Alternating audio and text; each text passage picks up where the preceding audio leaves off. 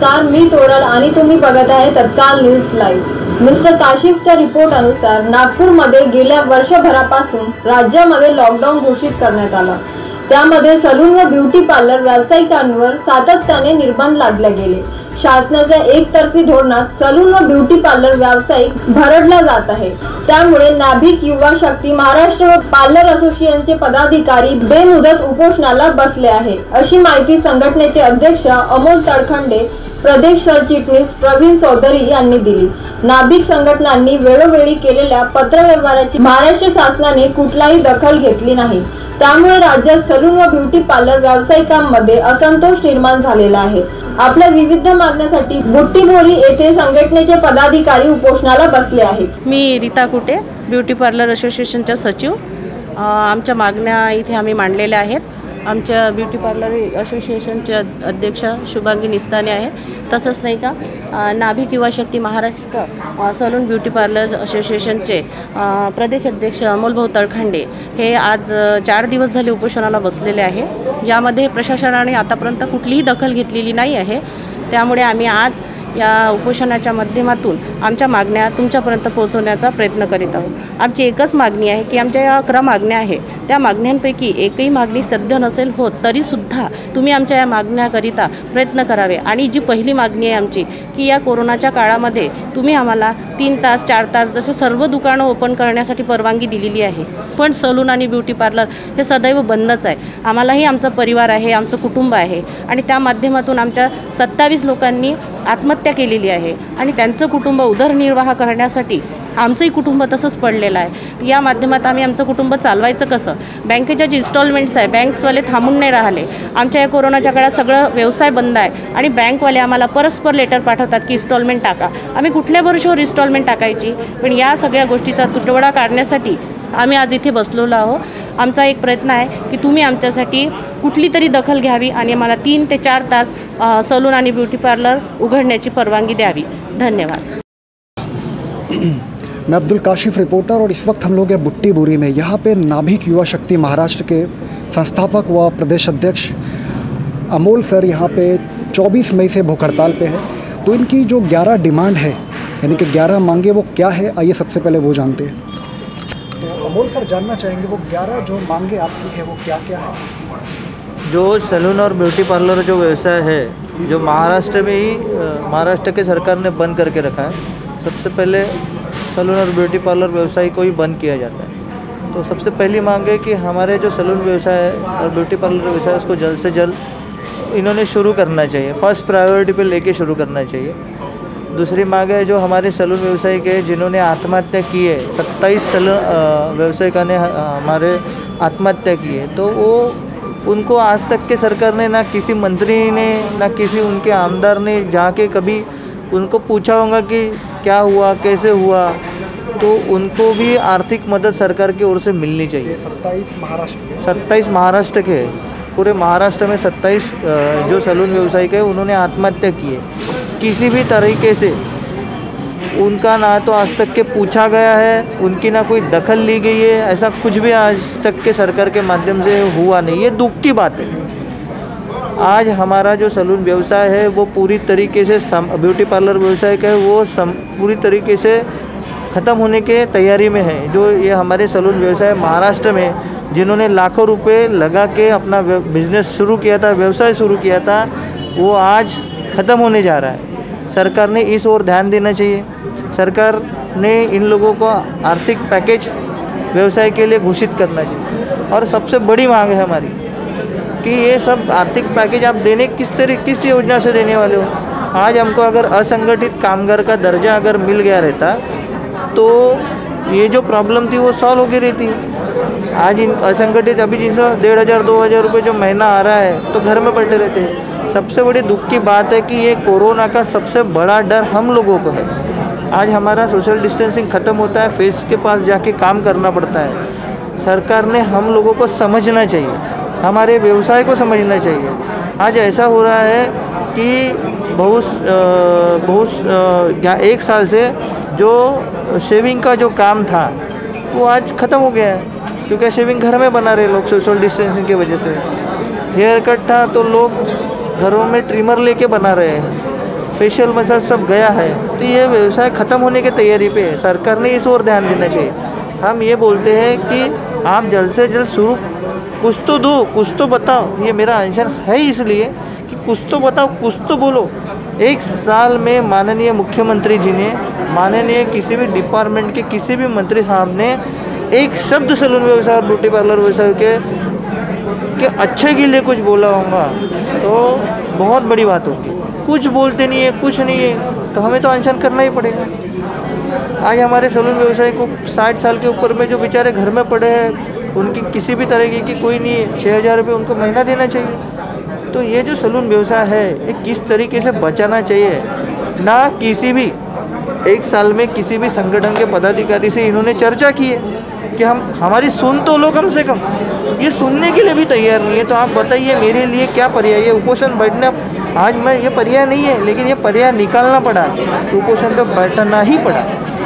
ये बहुत ज़रूरी है ये सब चीज़ों के लिए। और फिर हमने एक निर्णय लेके आज उपोषण पे बैठे। लॉकडाउन का पिछले दो साल से सबसे ज़्यादा इम्पैक्ट आपके इस बिज़नेस पे पड़ा है सैलून व्यवसाय पे। कैसे कैसे मतलब गवर्नमेंट ने कुछ परमिशन वगैरह दी है आपको? क्या कम से कम एक एक शख्स की आप सर्विस दे सकते हो, कम से कम एक शख्स को एक नहीं, उन्होंने तो प्रोटोकॉल बना के भी रखा है कि आप उन्होंने देखिए परमिशन किस बात की दी आप समझ तो लो।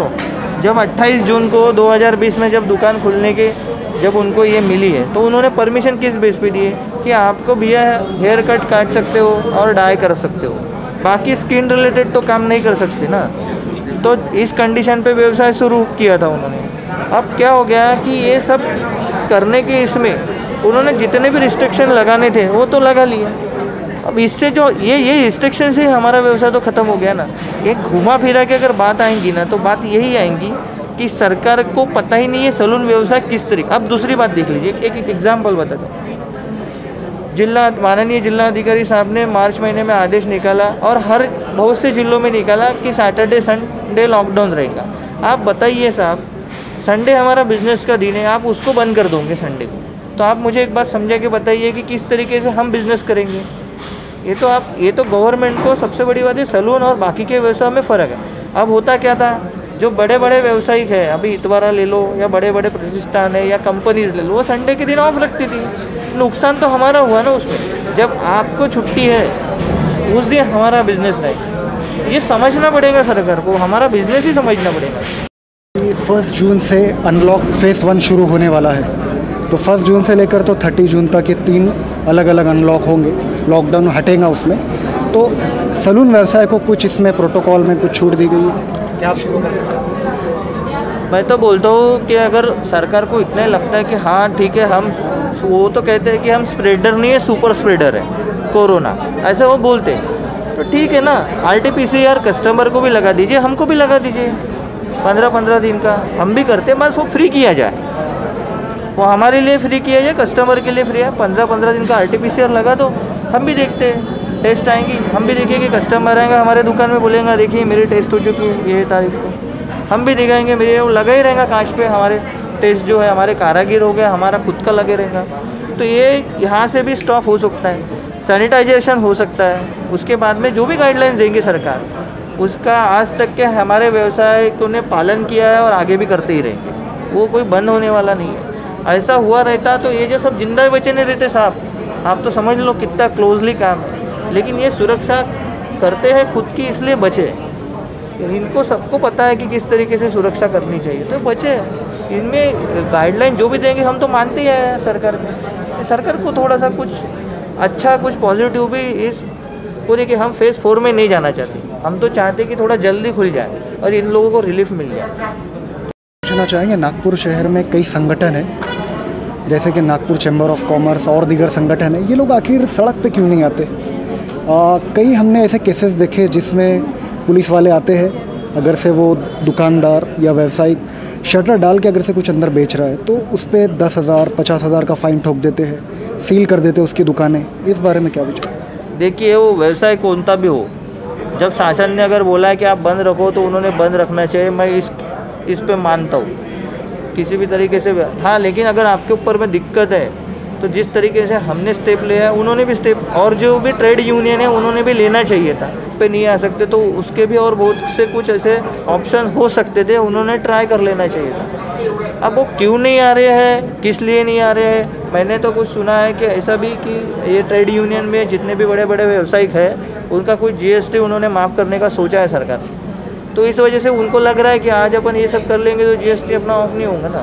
तो ये सब सोच रहे वो लोग। ये भी एक कारण है कि वो नहीं आ रहे हैं। लेकिन अभी उनकी भी हक की लड़ाई है और उनको ये भी लग रहा है कि एक तारीख से तो खुलने वाला है। अब ये ये भी देखना पड़ेगा कि खुलने वाला है, नहीं खुलने वाला है। तो इस वजह से उनको लग रहा है ये सब चीज़ें उनके दिमाग में चल रही होंगी, इसलिए नहीं आ रहे रोड पे। लेकिन अभी वो आएँगे, वो भी आएँगे, उनसे भी बात हो रही है। भी वाले उन्होंने मुझे फ़ोन करके बोला है कि अमोल जी, आप बहुत बड़ा डिसीज़न ले चुके हो और आगे बढ़ चुके हो। लेकिन वो भी आने वाले हैं। कुछ दिनों में वो भी आएँगे। अगर ये अट्ठाईस, उनतीस तक के किसी भी तरीके से घोषणा नहीं हुई था आप देख लेना, महाराष्ट्र में सबसे बड़ा आंदोलन होने जा रहा है, ये मेरी भविष्यवाणी। महाराष्ट्र में सबसे बड़ा आंदोलन होने जा रहा है, ये भविष्यवाणी अमोल तलखंडे जी की इस आवाज़ को बुलंद करने के लिए हम चाहेंगे आप इस वीडियो को लाइक करें शेयर करें कमेंट करें। बहुत बहुत शुक्रिया आप सभी का। शुभांगी शुभांगी निस्ताने। तो इस लॉकडाउन काल का सलून वालों पे क्या इफ़ेक्ट पड़ा वो तो हमें अमोल सर ने बताया। ब्यूटी पार्लर व्यवसाय पे क्या क्या इफ़ेक्ट आपको देखने मिला? ब्यूटी पार्लर व्यवसाय पे इफ़ेक्ट ऐसा है कि हम अ, हमारे पार्लर अभी एक सा अ, दो साल होते आ रहे हैं हम अभी डेढ़ साल हो गया कोरोना चलते हुए। तो अभी हमारे पहले पार्लर जो है बंद ही थे। इधर थोड़ा सा ओपन हुए तो और बंद हो गए। जो लेडीज़ है सभी ने अपने अपने व्यवसाय पे लोन जो लिया है और किसी ने अपने बच्चों के एजुकेशन के लिए लिया है तो किसी ने व्यवसाय के लिए लिया है तो किसी ने बेटियों को अपने फ्यूचर में आगे बढ़ने के लिए लिया है सबका कोई ना कोई प्रॉब्लम है। और लॉकडाउन के चलते हुए हमारा सब बंद कुछ व्यवसाय नहीं, कुछ भी नहीं, और ई एम तो हमको भरनी पड़ रही है अभी। और नहीं भरेंगे तो हमको कॉल आते हैं, और नहीं हम ना भरे तो हमारे घर पे भी आ सकते हो तो इसीलिए हमारा सबका जो ब्यूटिशन हम हैं जो बहुत अभी अड़चन से निकल रहे हैं बाहर अभी बहुत मुसीबत में हैं तो हमारा एक ही कहना है शासन से कि हमारे तरफ़ ध्यान दे ब्यूटी पार्लर व्यवसाय की तरफ़ ध्यान दे काफ़ी ऐसे व्यवसाय होते हैं ब्यूटी पार्लर और सैलून में जो कि उनका रूम रेंट पे होता है। नागपुर शहर में आजकल कम से कम पाँच हज़ार तो रेंट चाहिए। इलेक्ट्रिक बिल भी मंथली तीन हज़ार के करीब आ रहा है। हाँ इलेक्ट्रिक बिल हम ना हाँ इलेक्ट्रिक बिल अगर हम माफ़ हमारे को माफ़ हुआ नहीं है इलेक्ट्रिक बिल तो हमको भरना ही पड़ रहा है। घर भी चलाना पड़ रहा है और ईएमआई भी हमको टाइम पर भरना पड़ रहा है तो हम कैसे करें? हमने हम में से तो किसी किसी सहेलियों ने हमारे जो है अपना सोना जो कुछ भी था सब गिरवी करके हम ईएमआई भर रहे हैं इलेक्ट्रिक बिल भर रहे हैं और कैसा तो भी अपना गुजारा कर रहे हैं। और कोई कोई तो हमारी फ्रेंड लोग ऐसे हैं कि जिनके मिस्टर नहीं है, वो खुद के भरोसे पे अपना घर चला रहे तो उन, उन्होंने किराया भरना चाहिए बच्चों का, अपना खुद का पेट भरना चाहिए इलेक्ट्रिक बिल भरनी चाहिए, या दुकान भी उनके रेंट से तो उनका किराया देना चाहिए। तो कैसे करें हम? शासन ने हमारी तरफ़ ध्यान मतलब देना ही छोड़ ही दिया है तो उन्होंने हमारे तरफ़, शासन ने कुछ तो भी हमारे लिए विचार करना चाहिए। लॉकडाउन का इम्पैक्ट ऐसा पड़ा है कि सभी तरीके से हमारी शॉप टोटली बंद है और पैसा किराया भी चालू है इलेक्ट्रिक बिल भी चालू है बच्चों की फ़ीस है बाकी जो लोन लिए थे शॉप के लिए वो भी चालू है लेकिन हमारा व्यवसाय सिर्फ़ बंद है।